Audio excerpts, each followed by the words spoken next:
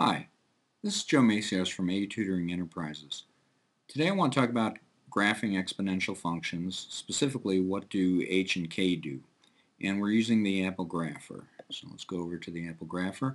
Uh, basically this is just a continuation of the last video. In the last video we discussed uh, how changing a and changing b would affect uh, either this equation or this equation uh, with h and k both set to 0, they're equivalent equations. Today we're going to go ahead and we're going to study um, h, changing h and changing k and see what happens. Alright, so let's get started. Let's go ahead and animate h. Now if you've watched a number of the other videos, you pretty much have an idea of what's going to happen already. Um, wow, this is even set up already. It almost never happens negative 4 to 4 uh, by 41 steps. That's going to give us steps of 0.2. And uh, what do you guys think is going to happen as I change h? Well, let's find out.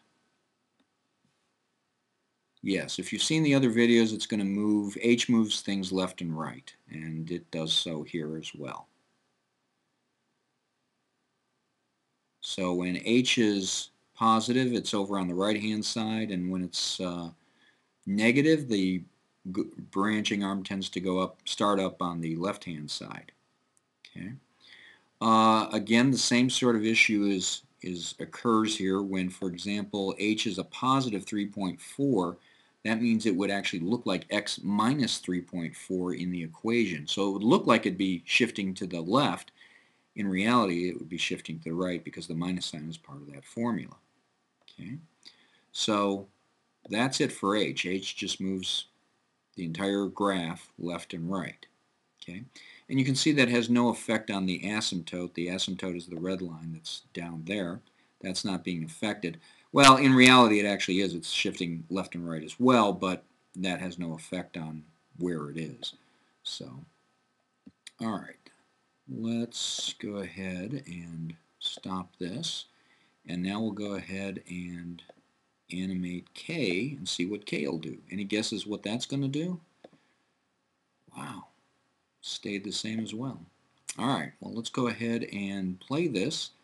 Um, if you guessed that this would move up and down, that is correct.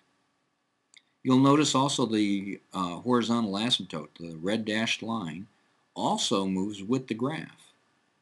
That's because it's dependent upon K. Alright. You'll notice that when k is a positive number, the equation would have, for example, plus 1.75 in it, and so it would look like it was moving it up, and it actually would be. So that's kind of the opposite behavior of what the h is doing.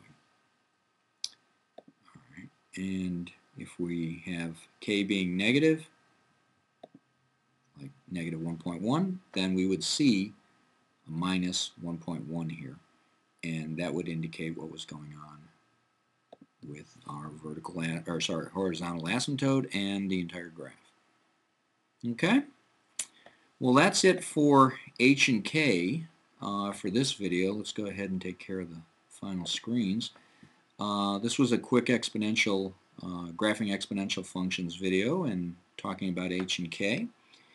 And uh, I'm from A Tutoring Enterprises. That's my business, and uh, that's me, Joe Maciarz some of my information, my website, my email, um, my phone number. I do online and in-person tutoring in math, physics, and chemistry.